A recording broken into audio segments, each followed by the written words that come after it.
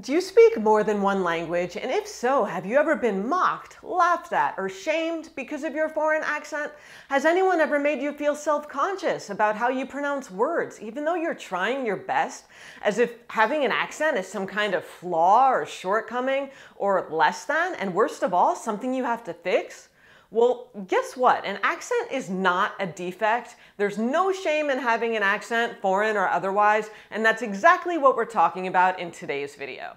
Okay, so hey, bonjour, I'm Diane, the American behind the Oui In France YouTube channel where we talk about everyday French life and beyond, and also the Living Abroad lifestyle blog of the same name, so check that out. I've been here living in France since 2012 and uh, I'm happier here. So let's get into today's topic, which is accents. And just a little something about me, I've always been fascinated by accents. In college, I had a thing for British accents after visiting England the summer before my freshman year, and to me, a hint of something different in your speech is interesting.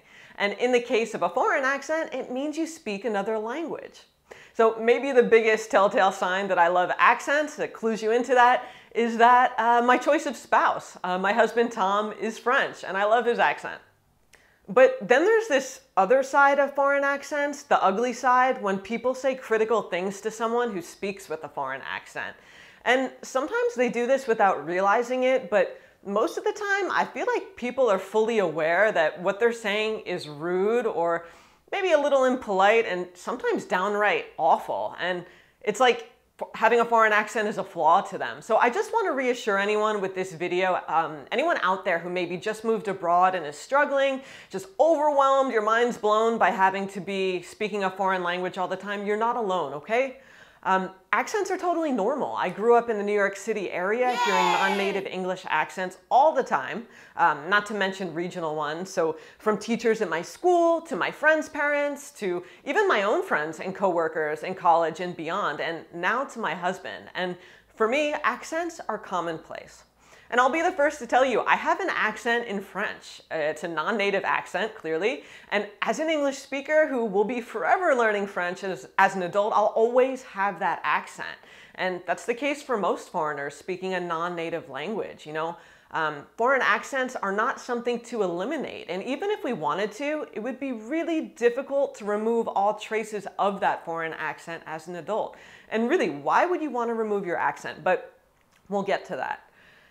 The truth is, I feel that having an accent is a good thing. At this point, I can say that it's a good thing most of the time, but I admit it can make you really self-conscious, especially in the early years. And I personally, I speak loud on purpose when I'm in a noisy place like the back of the line at the bakery, just so I don't have to repeat myself because I know what's coming out of my mouth isn't always what people expect to hear, especially in small town France. So people are curious whenever I speak up, all the heads turn, you know, and they're like, where's that voice coming from? People are curious and that accent makes you different it makes you uh, stand out. And unless you're surrounded by other people like you, um, you know, in a big city, um, it, it really will make you self-conscious, you know, and if you're on the receiving end of accented speech, you might perk up your ears and people are curious about you. So above all, accents are beautiful, you speak another language, so just keep that in mind before we go any further. But you know what accents are not? A defect. And this is important. Anyone who makes us feel like we're defective is the one with the defect.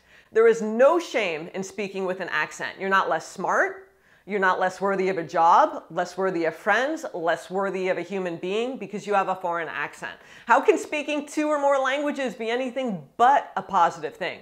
Really now.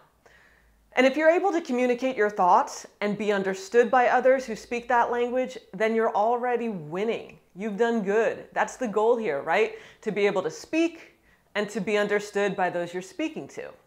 So I think accent modification classes are great only when the two things I just mentioned are a problem. So to communicate clearly and to be understood by those that you're speaking to. Or, you know, in like extreme cases, like maybe you're an actor and you need to sound a certain way for a role, or maybe you're some kind of a spy or something and you, you need to fool people into thinking you're one nationality when you're really not. But aside from that, don't worry about it if you're just an everyday person like me, just trying to do your best and get by. And, you know, as long as you're understood and you understand others, that's the goal. So, just for a second, speaking on accent modification, I recently read an article about a Toronto woman named Melissa James who helps people modify their accents. I'll link it down below. So, it's quote, she says, People are reporting that they feel less confident when they speak because of their accents, and they feel that they're not moving up in their careers because of these accents. And they feel they aren't able to blend in and assimilate in the way that they want to because of their accents, end quote. So if you think about that, it makes perfect sense. You know, it's, it's a real concern. If you have a super heavy accent to the point where it's getting in the way of your communication um, and people are not understanding you clearly, you're not effective in what you say, especially in a professional environment, if your accent's making it difficult for others to understand you, then yeah, maybe it's worth working on your pronunciation. You know, we can all improve, of course. So if you personally want to speak with less of an accent for whatever reason, then that's totally up to you. That's more than fine. We all need to work on things that are important to us. And if reducing your accent's a priority for you, then by all means, go for it. But when your accent is your best attempt at sounding like a native speaker, why is it something to feel badly about if we're understood just fine? It's not. And I've fortunately never had anyone act outwardly malicious um, toward me because I have an accent, but you know, most, most of the time it's the exact opposite. People are nice, you know, but people have made ignorant comments that have made me feel left out, have made me feel less than, or shown me that to them, all I am is the woman with the foreign accent and nothing more. Um, people have commented on having an accent as if it's like a personal shortcoming of some sort, you know, and you know, they've gone beyond it just being an identifier, the woman with the accent. So I don't want to dwell on that. I'm not going to give examples. Just know that it happens. And I will say that I was probably more touchy about having an accent my first year or two in France because, you know, look, everything was new, including me speaking French all day, every day. You know, I was unsure of myself. I was unsure of my speech. So I took any comment about my accent personally. My French was not fluid at all, and I was always behind the beat, you know? So on top of that, having an accent was like a double whammy when you already feel kind of down about your level of French. So I would, I would tell people like, oh, I'm sorry. I'd like assure them that I express myself much more intelligently in my native tongue. And, you know, it's just when you desperately want to fit in, any reminder that you're different can be kind of hard to take. And if you're sensitive or this makes you sensitive, it can be really hard day after day to have your accent constantly pointed out, especially with everything else mixing around in your head that comes with living abroad and that transition. You know, even if it's just a, oh, hey, you have an accent, where are you from? It's like, ah, I just want to fit in. Um, and I'm going to stay on this a minute because I'm sure someone out there watching is like, okay, well, it's just an accent. Don't be so sensitive. It's not a big deal.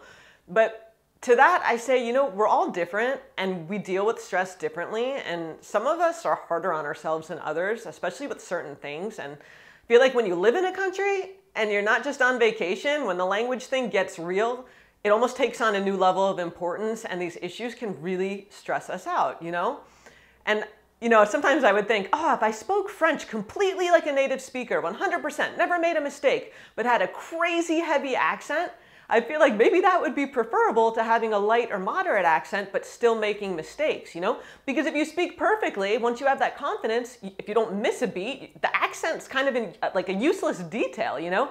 If you could hold your own 100% in perfect French, it wouldn't matter if someone comments on your accent. But when you first arrive in France, there's a big learning curve, especially if you're at a lower level and you already feel bad because people around can't really understand you well, you can't communicate as quickly as you'd like. And when someone points out your accent, even innocently, you know, or maybe not innocently, they mock you, it can really hurt and just remind you that you're different, you know, and it can remind you that you're not perfect. Of course, we're not, but we like to be perfectionists. Um, we're conditioned to do our best and success and get it right and be perfect. And sometimes that's hard to take um, depending on the headspace you're in. So I know someone out there is getting what I'm saying here, and I just want to tell you to be kind to people, you know, regardless, because we never know what people are going, from, uh, going through. Um, and these days, you know, whenever anyone makes a snide comment about my accent, I don't give it any energy. It doesn't get to me anymore. And you know why? Because I have confidence now. And anyway, that would only happen infrequently. And I feel that most of the time, the rude comments from people come from people who only speak one language anyway, and it's their insecurity being projected.